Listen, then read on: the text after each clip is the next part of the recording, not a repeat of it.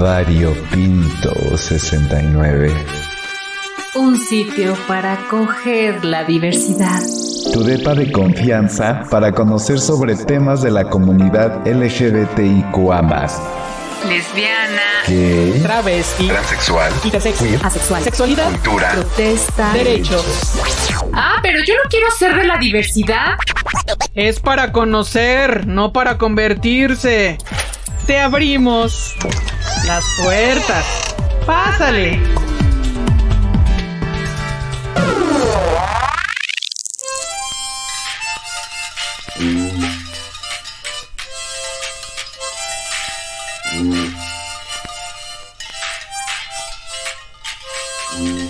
Ay, creo que nos estamos adelantando a la puesta de la ofrenda de muertos, pero está mejor porque luego ni tenemos tiempo. Ay, sí, además la podemos disfrutar mucho más.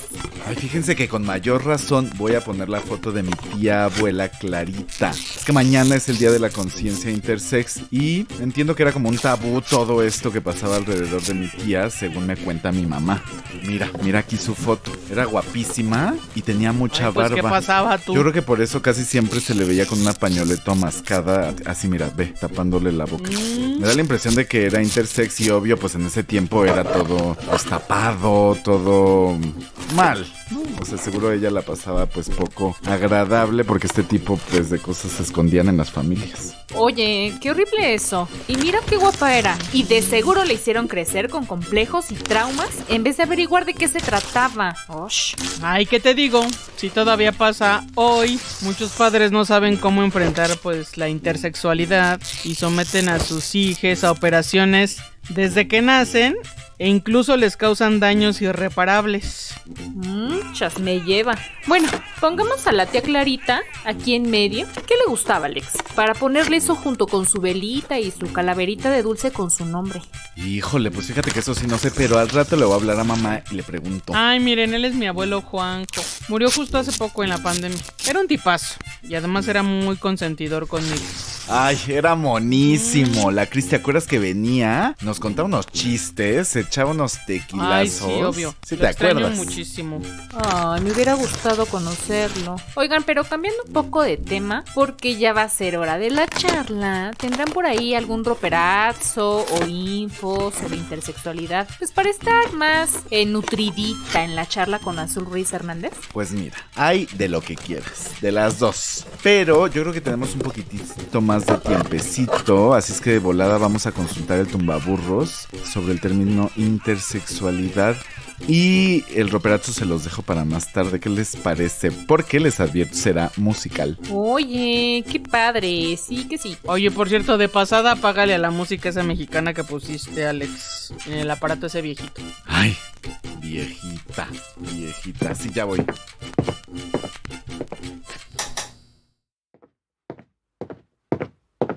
Listo. Intersexualidad. Acá. Les leo. La intersexualidad es un término que se refiere a las variaciones corporales de las características sexuales como los órganos sexuales, las gónadas, niveles hormonales o cromosomas que se originan durante el desarrollo de la diferenciación sexual en la etapa embrionaria. Esas variaciones son las de una apariencia sexual atípica que no corresponde con lo que asociamos con características representativas de hombre y mujer y pueden ser desde el nacimiento o pasar desapercibidas incluso hasta la adolescencia o la vida adulta.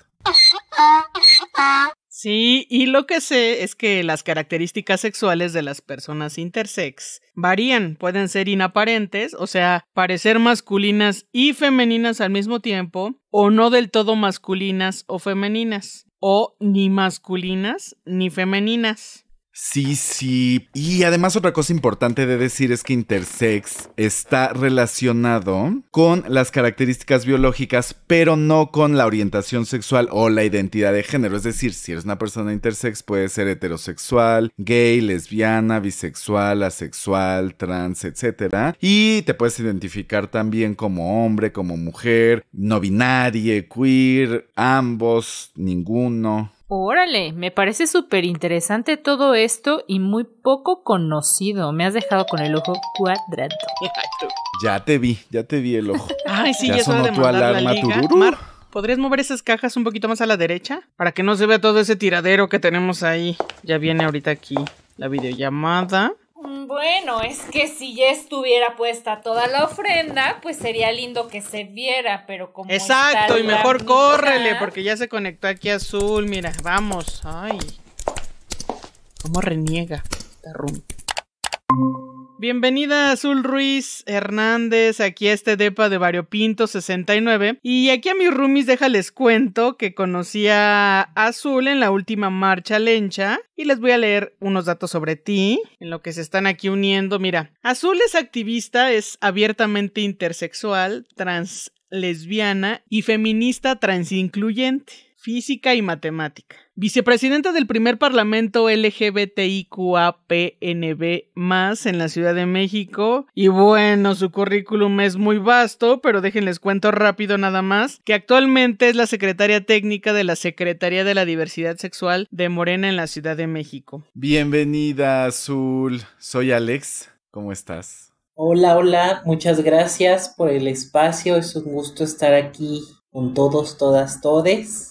Más bien gracias a ti por acudir al llamado. Me gustaría que nos empieces a contar qué te parece que exista esta efeméride del Día de la Conciencia Intersexual.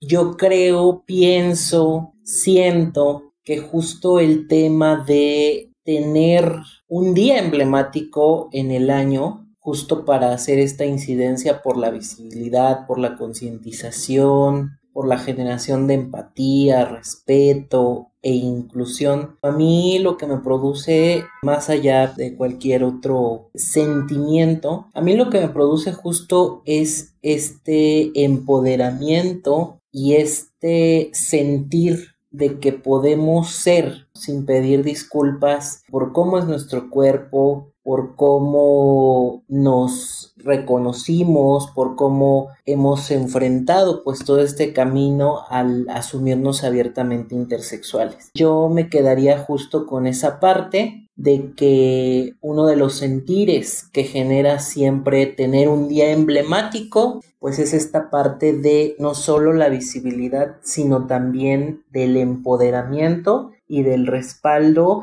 pues ante la sociedad y ante un sistema que pues sí o sí nos atraviesa. Qué gran introducción, Azul. Me presento. Hola, mucho gusto, soy Mar. Oye, entendemos que la intersexualidad no tiene nada que ver con cómo te identifiques, así como con tu sexo. Cuéntanos un poco de ti y esto de lo que te acabo de decir. Bueno, la intersexualidad justo es una etiqueta, una postura política, también una identidad, pero no en el sentido de identidad de género, sino una identidad apelando más bien a lo que es la lucha por el reconocimiento de derechos humanos de las personas intersexuales. Desde la vivencia personal, la mayoría de nosotros como activistas no quisimos realmente ser activistas. Las propias condiciones de la vivencia, de la experiencia del día a día, pues son los que te llevan a querer generar esta parte de la conciencia en la sociedad. Desde una vivencia muy particular, que es la mía, lo voy a expresar con esta frase para que veamos la magnitud o el tamaño justamente del monstruo, por así decirlo, al que nos estamos enfrentando. Si en algún momento de mi vida, de mi recorrer, me hubiese asumido, por ejemplo, como varón, o me hubiese reconocido en ese espectro de las masculinidades, no sé cómo hubiera lidiado, por ejemplo, con toda esta parametrización que se hace con respecto a lo que se espera que sea un varón. Esta frase nos engloba justo el tamaño de esa cosa a la que nos enfrentamos, que pues no es más que el sistema endosexual acompañado de el cis-heteropatriarcalismo, en donde a las personas, en función de cómo nacen, se les dota de una carga de identidad, o sea, no se nos pregunta, y en función de ese dotar de una carga de identidad, pues espera que nosotras, nosotros, nosotres realicemos tales o cuales acciones o actividades en nuestro andar. A mí cuando nazco me asignan la etiqueta masculina. Sin embargo, en la etapa de la adolescencia, mi corporalidad empieza a manifestar un desarrollo sexual diferenciado. Hace poquito estaba viendo unos de mis recuerdos en Facebook de una frase que justamente también voy a citar y quiero traer, que decía, era un tanto banal querer forzar a tu corporalidad en función de la normalidad de las mayorías, cuando por sí misma ella expresa su propia belleza, aludiendo un poquito a lo que justo durante mi adolescencia ocurrió. ¿Y qué pasó en mi adolescencia? Pues básicamente pues no experimenté esos cambios que experimentan las personas con una corporalidad del tipo A, por ejemplo, ¿no?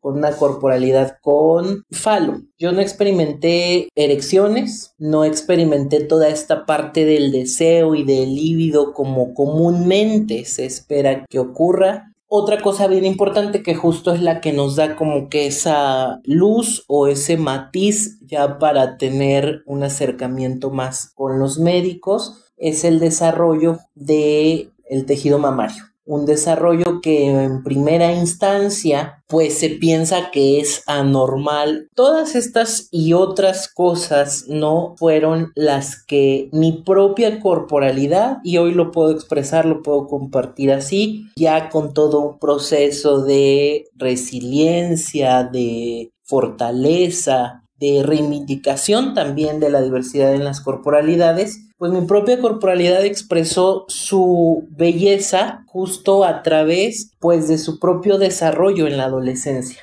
Azul, ahorita que hacías toda esta recuento de tu infancia, ¿cómo fue este descubrirte con tu familia, este acompañamiento y después cómo tú te autonombras trans lesbiana y feminista, transincluyente además. Pues fue un camino bastante largo, diría yo, porque no es como que el azul de hoy, a sus 28 años, siempre haya sido lo que justamente acabas de, de citar. Fue todo un proceso largo, difícil, rudo, porque principalmente también te enfrentas justo a este tema de que siempre te quieren esconder. Si de por sí el tema de las orientaciones disidentes y de las identidades de género disidentes es un tema que en algunas zonas, por ejemplo, de la Ciudad de México sigue siendo altamente vulnerado, pues ahora el tema de un desarrollo sexual o una diversificación corporal sexual distinta, pues también viene a ser un tema en el que todo el mundo piensa que la solución es esconderte que la solución es no decirlo y que la solución es pues encajar o querer encajar en la normativa, ¿no? Pues en ese sentido, el mensaje es decir que justo el querer encajar en la normativa no es la solución. Porque vuelvo, tarde o temprano, para nosotras como personas intersexuales, se vuelve un hecho que no podemos esconder lo que eres, en la que no puedes esconder cómo es tu cuerpo. Y estos sectores pues justamente son, quizás si lo pensamos así, altamente mm, personales, íntimos, pero tarde o temprano ser tú se ve reflejado en alguno de los ámbitos de tu vida. Entonces, en ese sentido, Azul, incluso yo podría señalar que Azul por mucho tiempo ocultó que era una persona intersexual, ocultó que era una persona con este diagnóstico que conocemos como insensibilidad a los andrógenos parcial. Y lo oculté en el sentido de que dije, bueno, esto no va a ser relevante para mi andar pero vuelvo yo con el tema de lo íntimo y de todo esto que rodea a lo íntimo, no necesariamente fue así. Y en ese sentido, pues es cuando me atrevo a tomar todo un proceso de reflexión en torno a mí, a lo que yo quería para mí en la vida, y en ese sentido, pues sí, fue un acto de sinceridad y de sensatez y de liberación. También el poder salir a decir públicamente que era una persona intersexual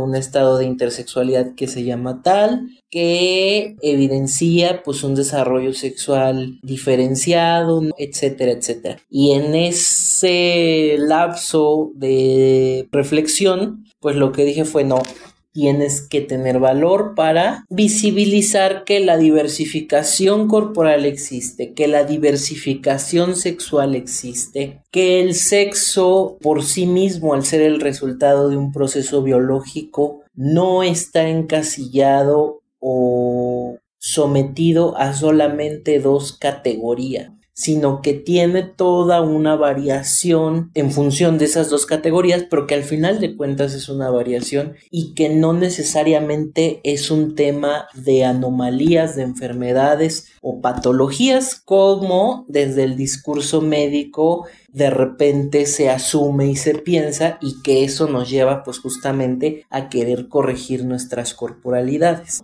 cuando me sacaron del closet, porque a mí me sacaron del closet como lenchitud antes de asumirme abiertamente intersexual, creo que dos o tres años antes, si no me fallan las cuentas, yo tuve que aprender a interactuar con las corporalidades con vulva a comunicarme con ellas a través de los sentidos, de el tacto, con las manos. Y entonces a partir de ahí es que yo me identifico con el ser lesbiana. El tema de la mm, identificación con lo trans, no niego que sí tengo una vivencia trans. Cuando yo inicié esta entrevista, dije que cuando nací me asignan el masculino y que en la adolescencia empiezan a devenirse todas estas manifestaciones corporales, estos cambios, etcétera, etcétera. Y entonces pues es justo en la adolescencia donde mi identidad de género se acopla a la femenina, donde logro espejearme con todo lo que gira en torno al género femenino. Y en ese sentido, por eso digo y asumo que tengo una vivencia trans, porque tuve que atravesar toda una serie de ideas, conceptualizaciones en torno a mi persona, pues para poder ajustar lo que en ese momento ya era mi desarrollo identitario con lo que decían básicamente mis documentos. Cuando yo llego a esta parte médica, una de las cosas que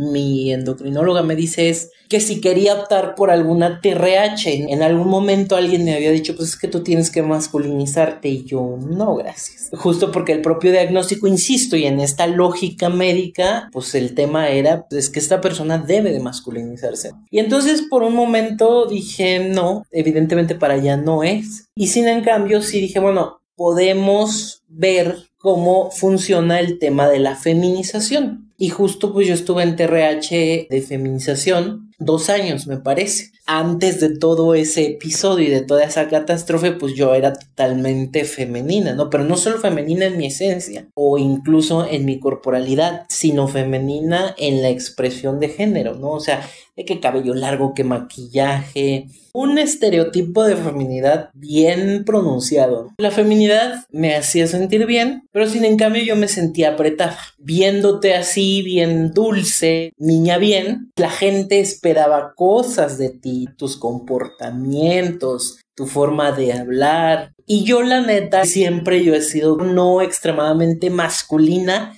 machorrona, ¿no? Conceptualmente hablando. Pues sí, la feminidad como que yo sentía que me quedaba un poco apretada justo también es cuando me quito esta carga del tema de las TRHs, ¿no? Y, finalmente decir de, bueno, a ver, tú eres azul, con o sin hormonas del tipo A o del tipo B. Tú eres azul, con o sin el cabello largo. Porque al final de cuentas yo dije, a ver, tú vas a ser azul, te vistas como te vistas. Y si te sientes más cómoda vistiéndote masculina, vistiéndote holgada, porque aparte te sientes más ligera, ¿no? O sea, yo me acuerdo, por ejemplo, que antes usaba tacones y de por sí soy una persona alta. Ahora con 10 centímetros de tacones o 15, pues creo que sí alcanzaba los, los... No, pues sí, ya sé. Pero fíjate, o sea, por justo querer lograr ese reconocimiento, por eso es que luego también yo entiendo y, empatizo mucho con esta población trans binaria o no quiero usar adjetivos equivocados, que se recarga mucho al ultrabinarismo, ¿no?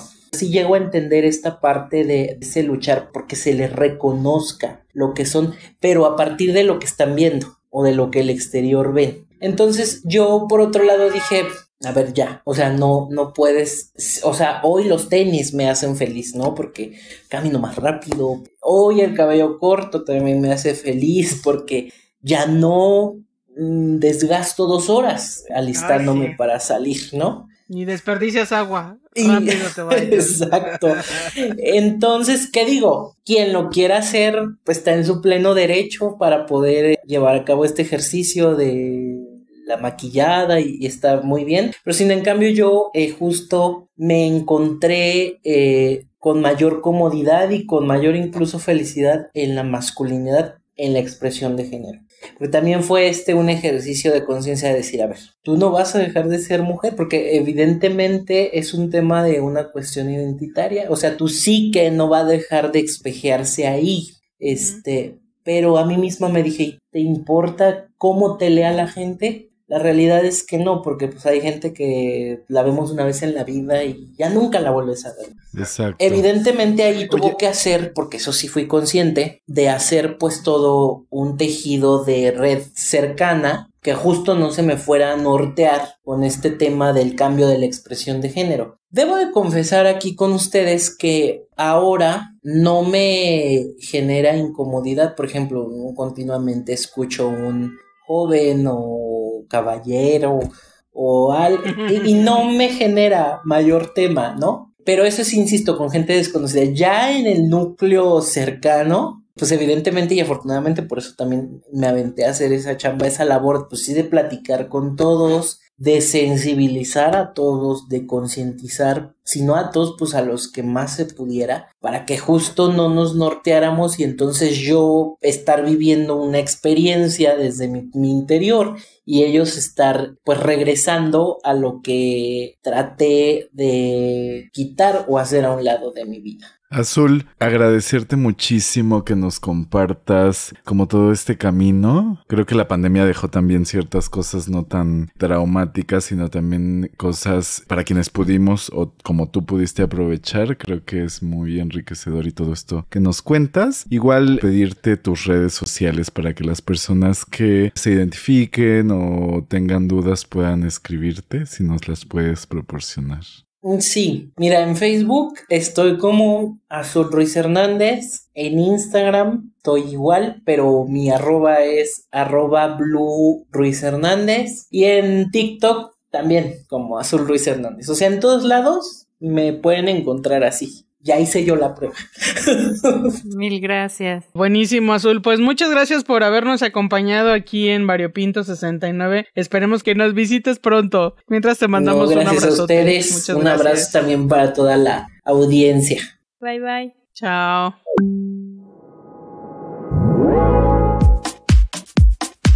Síguenos en las redes sociales. Estamos en Instagram como arroba variopinto.69. En Facebook y Twitter nos encuentras como arroba variopinto69. Comentarios y dudas al WhatsApp 5512 33 29 15. Recuerda armar el variotón. También nos puedes escuchar en Spotify.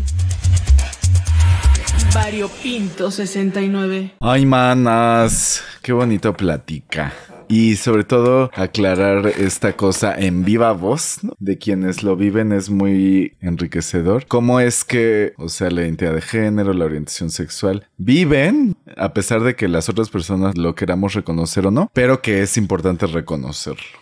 Sí, y fíjate que es bien inspiradora porque a pesar de que vive o vivió o sigue viviendo muchas complicaciones sociales en su entorno, decidió ser quien ella quería ser. Y creo que todas las personas debemos aprender eso, a darle la vuelta a la hoja y tratar de siempre seguir lo que nuestros corazones nos dicte y sobre todo con lo que nos sintamos bien y a gusto. Así es, y que este tema de las personas intersex creo que dentro del acrónimo es el menos conocido y que de pronto solo por ver a una persona uno yo asume si es lesbiana, solo uno cree que ya sabes escanear a las personas y no sabes todo lo que hay detrás. Entonces por eso pues siempre hemos aquí proclamado el respeto y el preguntar cuáles son tus pronombres, con qué te sientes bien, porque no sabemos las historias que hay detrás, muchachos. Así es. Claro. Oigan, Rumis, hay que seguir poniendo la ofrenda.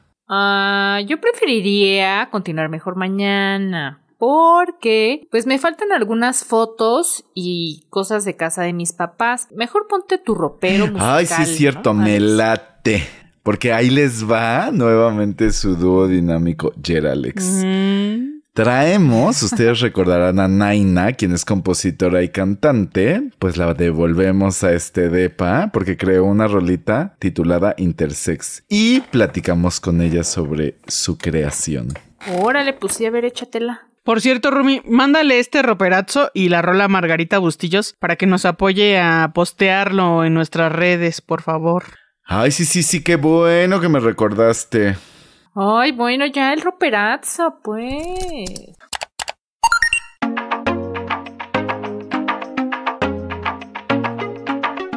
Hola queridos amigos de Variopinto 69. Soy Marisa Naina y te saludo desde la Ciudad de México. Soy músico, mi instrumento es la voz. Soy compositora, productora y docente vocal. Tengo una voz profunda de mezzosoprano dramática. Soy histriónica y multifacética.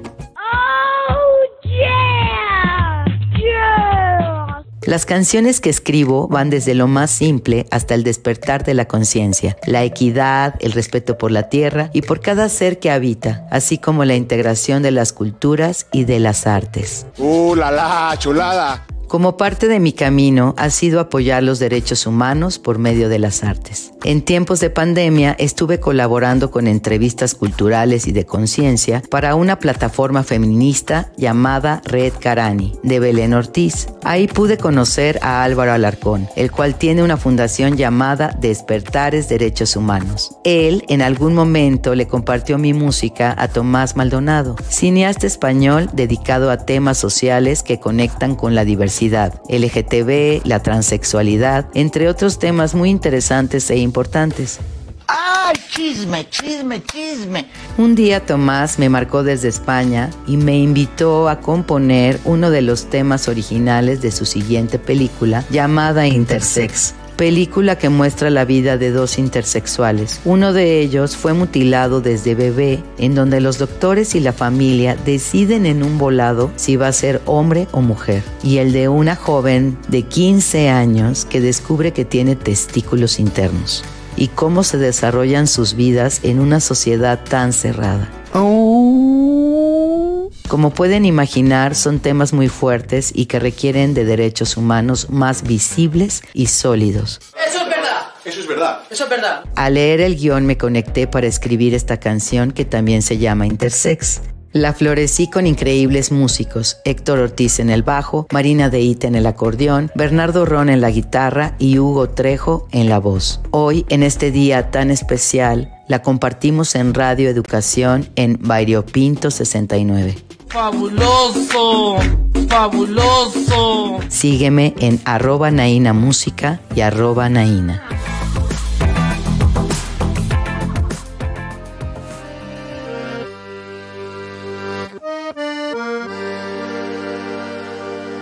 Noche, ¿qué será lo que me vienes a decir? Tras la luna llena yo me vi. Somos arco iris, me dijo la luna. Entonces conté mi historia, mi sentir. ¿Qué les pareció esta contribución, Geralex? Pues muy ad hoc a lo que platicábamos sobre otras personas intersex que precisamente no han tenido oportunidad de ellas poderse identificar como deseen, sino que desde pequeños fueron mutilados y muy ad hoc esta rola. Ya, shh, shh, shh, shh. dejen oír la rola. Pues mejor, súbale a la radio. Me lastimaron al decidir mi vida en un volado. Es como regalar al hijo amado. Ellos me mutilaron mi cuerpo, mi templo, mi ser. Ellos me obligaron Variopinto 69. Es todo por hoy, amigues. Acogimos a la comunidad con harto gusto. El sexólogue Víctor Castellanos. La inventada Mónica Salcedo. La garra micrófonos, Gerald Maciel. La picabotones, Alma Cuadros. La buga, Edith Díaz. La casera, Lourdes Mugenburg. y los ingenieros jalando las palancas. ¡Ay, quedó bien chulo! Armemos la fiesta. ¡Ay, armemos la fiesta, niñez! No, ¿qué?